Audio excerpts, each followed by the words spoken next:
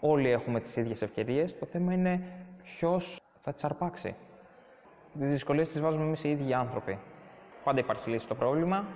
Έχουμε ίσως ένα εμπόδιο που μπορεί να λέγεται αναπηρία, το οποίο είναι στο θέμα του ανθρώπου, αν θα το ξεπεράσει, είναι ένα σκαλοπάτι. Θα τα ανέβεις ή όχι.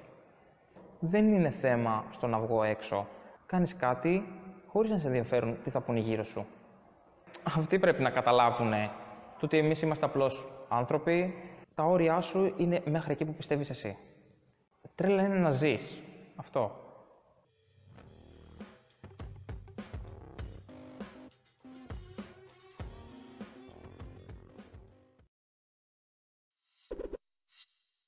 Καλησπέρα σας. Ονομάζομαι Στέλιος Έκερης. Είμαι 24 ετών και είμαι καθυλωμένος τα τελευταία χρόνια σε αναπηρικό αμαξίδιο. Έχω μία πάθηση η οποία ονομάζεται νοτιαία μυϊκή ατροφία ε, και μάλιστα έχω τον τύπο 2. Επηρεάζει τα νεύρα, τους μύες και γενικά είσαι πιο υποτονικός. Γνωρίζεις ότι δεν έχεις αυτή την ανάλογη δύναμη στο να σηκώσεις ένα βάρος, στο να κουνήσεις το καρότσι σου με τέτοια δύναμη ώστε να πας 10 μέτρα παρακάτω. Οι μύες μου γεννιούνται ατροφικοί, όπως λέγεται και μυϊκή ατροφία, και ότι δεν έχεις το 100% ενός αρτιμελή τη δύναμη, άρα αυτομάτως όταν είσαι σε μικρή ηλικία οι μύες σου, μιας και σε πολύ λίγα κιλά και πολύ χαμηλό ύψος, αντέχουν αυτό το βάρος. Και γι' αυτό και εγώ στο δημοτικό περπατούσα σε ένα ικανοποιητικό στάδιο αρκετά, αλλά με τα χρόνια, με το να βάζεις κιλά, με το να ψηλώνεις, οι μύες άρχιζαν να επιβαρύνονται όλο και περισσότερο, να, να πέφτεις εισαγωγικά ε, η δύναμή τους. Αυτό βεβαίως εγώ προσπάθησα να το κρατήσω με νύχια και με δόντια, με την κολύμβηση, με την πολλή άσκηση, με το να μην είσαι υποτονικός και να κάθεσαι όλη μέρα στο, σε ένα γραφείο μπροστά σε έναν υπολογιστή και να τρως. Να ενεργοποιήσει, να προσέχεις τη διατροφή σου πάρα πολύ. Γίνεσαι πιο ενεργό μέλος στην κοινωνία, δεν μένεις στο σπίτι λόγω της αναπηρίας σου, βγαίνεις όλο και περισσότερο έξω. Γενικά δεν έχεις αυτό το κόμπλεξ το να πας κάπου και ότι θα σε δουν κάποιοι από εδώ και από εκεί, θα στραφούν κάποια βλέμματα. Πρέπει να είσαι ανεξάρτητος. Αποδέχει το πρόβλημα, ε, γνωρίζεις τα ωριά σου και μπορεί πολλές φορές να θέσει να τα ξεπεράσεις. Και είναι πολύ ωραίο να τα ξεπερνάς για να δεις ότι μπορείς να καταφέρεις και κάτι ακόμα καλύτερο για σένα. Εκεί στα δυόμιση μου χρόνια περίπου, οι γονείς μου κατά κύριο λόγο είδαν ότι περπατάω στις μύτες και ότι έχω ίσως μια πιο δύσκολη βάδιση. Η πάθησή μου όσο περνούσαν τα χρόνια επιδεινώθηκε ε, λόγω του ότι άρχισε να μπαίνει και η ανάπτυξη να παίζει πολύ μεγάλο ρόλο και να ψηλώνω, να βάζω κιλά όπου στο γυμνάσιο άρχισα να χρησιμοποιώ κάποια μέσα όπως περπατούρες, κάποιους νάρθηκες για τα πόδια μου, τα οποία όμως με τα χρόνια άρχισαν να με δυσκολεύουν πάρα πολύ και κατέληξα ίσως στο Λύκειο να κάθομαι και πάρα πολλές ώρες σε αναπηρικό αμαξίδιο. Δεν με επηρέασε τόσο ψυχολογικά, λόγω του ότι τα πράγματα άρχισαν να επιδεινώνονται σιγά σιγά, άρα σιγά σιγά κατανοούσα και εγώ ότι θα αρχίσω να χάνω πράγματα και με βοήθησε και μέσα μου ψυχικά να έχω θέληση και να προσπαθώ να κυνηγάω πράγματα ώστε να μην χάσω και αυτά που έχω κερδίσει μέχρι στιγμής. Στα τρία μου χρόνια με έγραψαν σε μια πισίνα. Στην αρχή, τα πρώτα χρόνια, απλώς κάναμε κάποιες ασκησούλες ε, και βλέπαν ότι εναρμονίζομαι πολύ καλά με το νερό. Άρχιζα να το λατρεύω και κολυμπούσα, άρχιζα να μαθαίνω τα στυλ. Και με αυτόν τον τρόπο, μετά από 4-5 χρόνια, με γράψανε για πρώτη φορά σε κάποιον σύλλογο αθλητικό, όπου γνώρισα την ομάδα μου που λέγεται Φίλιππος Θεσσαλονίκης και είμαι από το 2004, το Σεπτέμβριο όταν γράφηκα. Όλα αυτά τα χρόνια η πισίνα μου δημιούργησε μία πειθαρχία που δεν το είδα εισαγωγικά σαν λύση στο πρόβλημά μου το τι έπρεπε να ασκούμε, αλλά στο ότι βρήκα τον έρωτα σε αυτό το πράγμα. Και ειδικά όταν κάνεις πρωταθλητισμό σε άτομα με αναπηρία είναι λίγο πιο δύσκολο και πιο χρονοβόρο. Ε, όταν μαθαίνεις να μεγαλώνεις με κάτι, ε, μαθαίνεις να έχεις και ένα πρόγραμμα. Γιατί αυτομάτως ξέρω ότι κάθε εβδομάδα πρέπει δύο με τρεις φορές την εβδομάδα να πάω στην προπόνησή μου, να αφιερώσω αυτές τις ώρες και όχι να πάω απλώς για ρουτίνα. Προσπαθείς με αυτό που κάνεις να δώσεις ένα έναυσμα στον κάθε ένα που μπορεί να σε δει και αυτά, να γίνει και αυτός ένας αθλητής. Γιατί είναι πολύ ωραίο να αθλείσαι και να κάνεις κάτι το οποίο το αγαπάς και σε χυμίζει. Μεγάλωσα σαν ε, ένας κανονικός άνθρωπος, αρτιμελής. Πήγα κανονικά σχολείο, δημοτικό, γυμνάσιο, λύκειο. Κατάφερα να αριστεύσω και να περάσω σε μια σχολή πανεπιστημίου και μάλιστα στη λογιστική και χρηματοοικονομική του ΠΑΜΑΚ, όπου κατάφερα να τελειώσω και αυτήν μέσα στα τέσσερα έτη. Και αυτή τη στιγμή να καταφέρω να ολοκληρώνω σε λίγους μήνες το μεταπτυχιακό μου στην εφαρμοσμένη λογιστική και ελεγκτική. Και γενικά πάντα είχα πολύ υψηλούς στόχους, τους οποίους βλέπω σιγά σιγά να καταφέρνω και για μένα το μεταπτυχιακό ήταν κάτι σαν άθλος, που βλέπω ότι ήταν κάτι πολύ εύκολο άμα πιστεύεις στον εαυτό σου και άμα το βάλεις σε στόχο. Τώρα δεν ξέρω ίσως στο μέλλον αν καταφέρω να κάνω και κάποιο διδακτορικό, θα το ήθελα πολύ. Αυτό ίσως για μένα ήταν, θα είναι κάτι πέρα από τα όρια μου. Τα άτομα με αναπηρία πρέπει να μάθουν να, να ενεργοποιηθούν, να γίνουν πιο ενεργά μέσα στην κοινωνία μας και να καταφέρουν να κάνουν όποιο όνειρο πιστεύουν οι ίδιοι πραγματικότητα. Και για μένα το πρώτο πράγμα που ήθελα να κάνω ήταν να εργαστώ.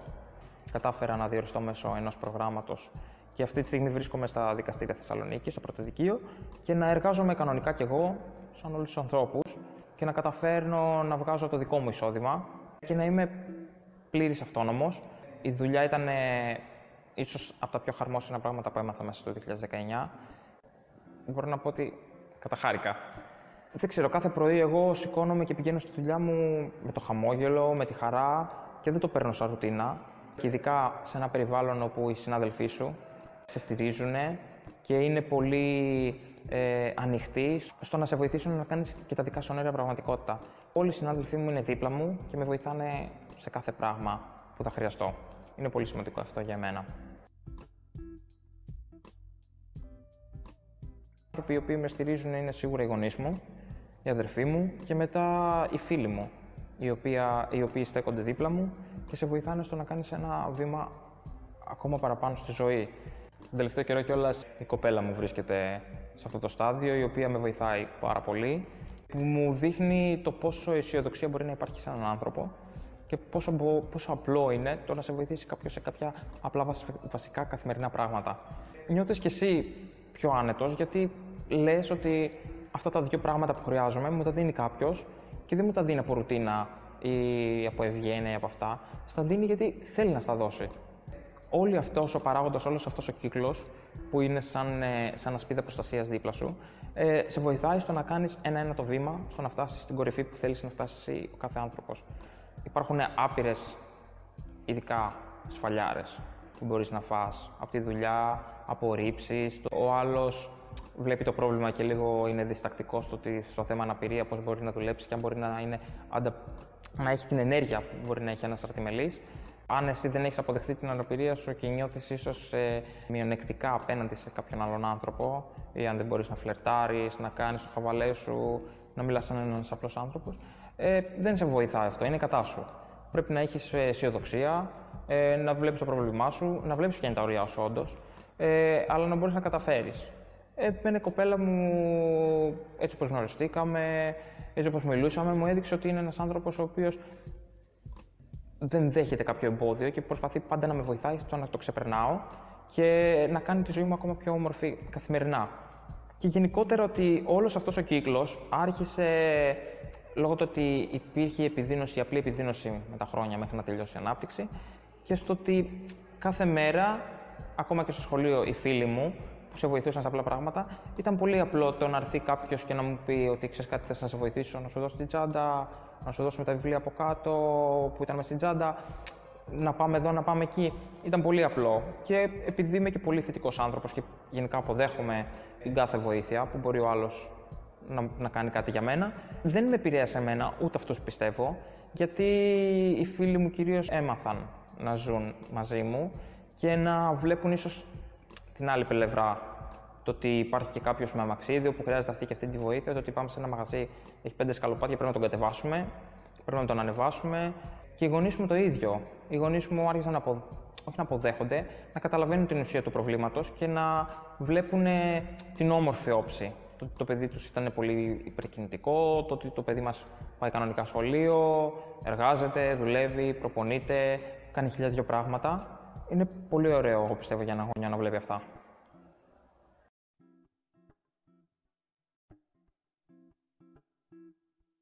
Υπάρχουν περιπτώσεις οι οποίοι σε κοιτάνε λίγο με το μάτι που είναι λίγο έτσι στραβό από τα πλάγια. Πολλοί μπορεί να, να αναρωτιούνται τι έχεις, πώς το έπαθες, γιατί έκατσε καρότσι. Το να σε προσεγγίσει κάποιος δεν είναι κάτι δύσκολο. Να γνωριστείτε, να γίνετε φίλοι, να βγείτε για φαΐ, για ποτό. Το θέμα είναι να γίνεται μια σωστή προσέγγιση. Να έρθει και να σου λύσω τις απορίες σου. Για μένα δεν θα μου φανεί παράξενο να έρθει κάποιος και να μου πει Γεια σου, είμαι ο Γιώργος, είμαι η Κωνσταντίνα. Έχω μια απορία να μάθω πώς ζουν αυτά τα, οι άνθρωποι, ποιος του βοηθάει, πώς τα κάνεις αυτά μόνος σου, πώς πας στη δουλειά σου, όλα αυτά. Και να τη λύσω όλες αυτές τις απορίες που μπορεί να έχει. Με τα χρόνια, εγώ πιστεύω ότι η κοινωνία μας έχει καλυτερεύσει, έστω και λίγο. Σίγουρα υπάρχουν οι άνθρωποι που είπαμε που μπορεί να σε κοιτάνε συνέχεια και μπορούν να αναρωτιούνται για σένα. Το θέμα είναι όλοι να σε κοιτάνε σαν το Στέλιο, σαν τον Γιώργο, να σε κοιτάνε σαν πρόσωπο και να μην κοιτάνε το καρότσι. Η διαφορά μας είναι ότι εσύ κάθεσαι σε μια καρέκλα σταθερή, εγώ κάθομαι σε μια καρέκλα η οποία έχει ρόδες. Αυτή είναι η μόνη διαφορά μας. Οι άνθρωποι πάντα κοιτάνε την αναπηρία ίσως με, με ένα σοκ. Τι έχεις, πώς το έπαθες και αυτά. Ένα ποσοστό πιστεύει ότι μπορεί να μην, να μην μπορεί να κάνεις κάποια πράγματα και να σε βγάζει στην άκρη στο ότι λέγοντας ότι εντάξει εσύ δεν μπορείς να το κάνεις αυτό ενώ εγώ μπορώ να το καταφέρω αυτό είναι λίγο άσχημο το θέμα είναι πώς νιώθεις εσύ μέσα σου.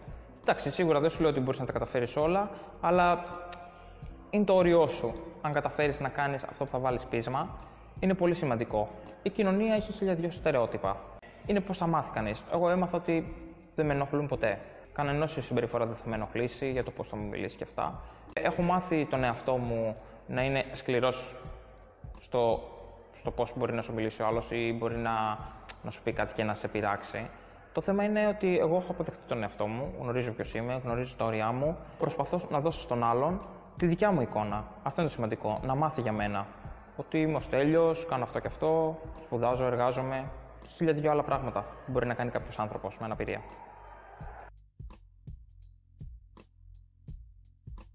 Οι δύο παράγοντες που πιστεύω είναι αρχικά το σχολείο, γιατί όταν στο σχολείο σου μαθαίνει ε, το τι είναι αναπηρία. Γιατί όταν ένα παιδάκι μαθαίνει, ίσως αν έχει κάποιο συμμαθητή του που μπορεί να είναι αναπηρία, βλέπει τα προβλήματά του, βλέπει τις αδυναμίες του, τον βοηθάει, άρα καταλαβαίνει ότι είναι κάτι φυσιολογικό. Και ότι κάνουμε αυτή την κίνηση γιατί βοηθάμε ή χίλια δυο άλλα πράγματα. Και ο άλλος παράγοντας είναι ο γονέας. Ο γονέας πώς θα μάθει στο παιδί του να μιλάει, το πώς θα αντιδράσει όταν θα δει ένα άτομο με αναπηρία, είτε αυτό είναι κινητική είτε είναι νοητική και στο πώς θα το χαρακτηρίσει. Σίγουρα στην κοινωνία μας το παιδάκια σου λένε πάντα την αλήθεια, το πώς σε βλέπουν. Γι' αυτό και πολλές φορές όταν πηγαίνω και στο σχολείο να μιλήσω, ε, βλέπεις τα παιδάκια τι θέληση έχουν στο να μάθουν πώς ένα άτομο με αναπηρία κάνει κάποια πράγματα τα οποία σε αυτά φαίνονται πολύ περίεργα. Ακόμα και το πώς ντύνεσαι, ε, το πώς τρως, βασικές καθημερινές λειτουργίες ενός ανθρώπου και τους λύνεις τις απορίες και βλέπ, βλέπεις πώς κατανοούν αυτά και μαθαίνουν πολλά πράγματα για την αναπηρία, τα οποία μπορεί να τους μείνουν για όλη τους τη ζωή.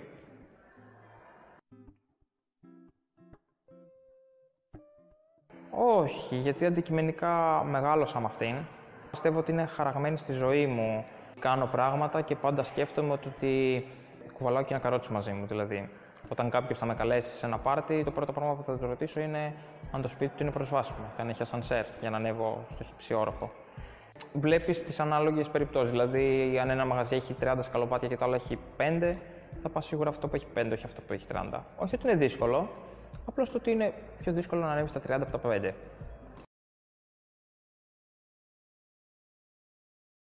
Στις μέρες μας τίποτα δεν είναι τέλειο, αλλά βλέπεις ότι κάποιοι άνθρωποι προσπαθούν είτε με τα καταστήματά τους να τα κάνουν προσβάσιμα.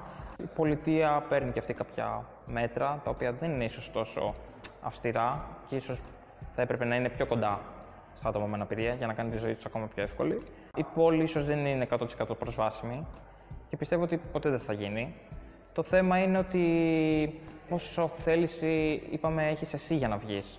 Αν συναντήσεις δύο-τρία εμπόδια και πρέπει να κατέβεις δύο-τρία πεζοδρόμια, αν αυτό σου δημιουργήσει κάποια αρνητική ενέργεια μέσα σου και πεις ότι Αχ, δεν μπορώ να βγαίνω και να πηγαίνω σε αυτά τα μέρη, είναι δικό σου θέμα. Το θέμα είναι εντάξει, okay. Βρήκες ένα πεζοδρόμιο, θα το κατέβεις. με το χύψη τρόπο. Θα ζητήσεις μια βοήθεια από κάποιον περαστικό, θα σε βοηθήσουν οι φίλοι σου, οι γονείς σου που είναι μαζί σου. Το θέμα είναι μέχρι που μπορεί να φτάσεις. Δύο-τρία σκαλοπάτια, ένα πεζοδρόμιο πιστεύω δεν μπορεί να σου εμποδίσει τη ζωή που θα κάνεις. Το ίδιο συμβαίνει και με τα μαγαζιά. Εντάξει, κάποια έχουν πρόσβαση, κάποια δεν έχουν. σω ένα παράπονο είναι ότι κατά 99% τα μαγαζιά στην πόλη, τώρα τα καινούργια κάποια έχουν, ότι δεν υπάρχει ίσως η τουαλέτα, που μπορεί να είναι μια μεγάλη ανάγκη για ένα άτομο με αμαξιστήριο.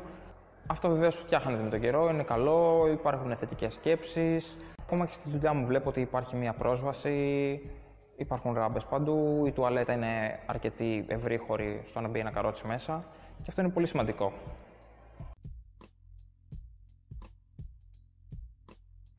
Φίλοι μου με φωνάζουν Στέλιο. Εντάξει, τώρα η κοινωνία πρέπει με κάποιο τρόπο να σε ονοματίσει, σε εισαγωγικά. Εντάξει, η λέξη αναπηρία δεν είναι κάτι κακό. Είναι ένας όρος τον οποίο τον αποδέχεσαι. Είσαι ένα άτομο με αναπηρία. Είτε το θέλεις είτε όχι. Το αποδέχεσαι, αλλά μέσα σου γνωρίζεις ότι είσαι ο Στέλιος, ο Κώστας. Ο καθένας. Οι φίλοι μου δεν με φωνάζουν ο φίλος μα ο ανάπηρο. Λέει ο Στέλιος.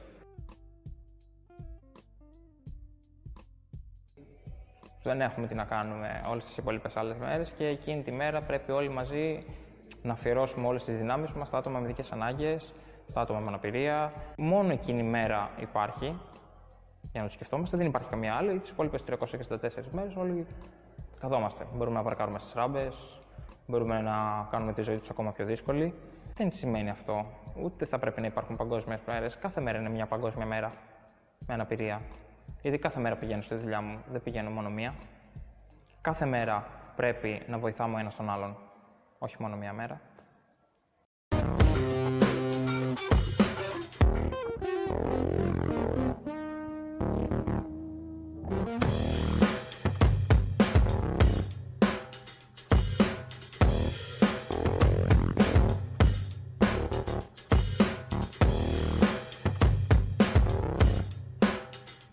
Κάρα εκεί πέρα όλοι και το μυαλό στα κάγκελα. Στο γήπεδο κάθε Κυριακή, εντός και εκτός. Πάμε εκεί πέρα, κάνουμε χαβαλέ. Είμαστε έτσι μια ωραία παρέα, πηγαίνουμε και εκδρομές. Ε, περιμένουμε εντάξει 34 χρόνια από το τελευταίο πρωτάθλημα. Ευκαιρία να πάρουμε και ένα double να δει η πόλη κάτι όμορφο.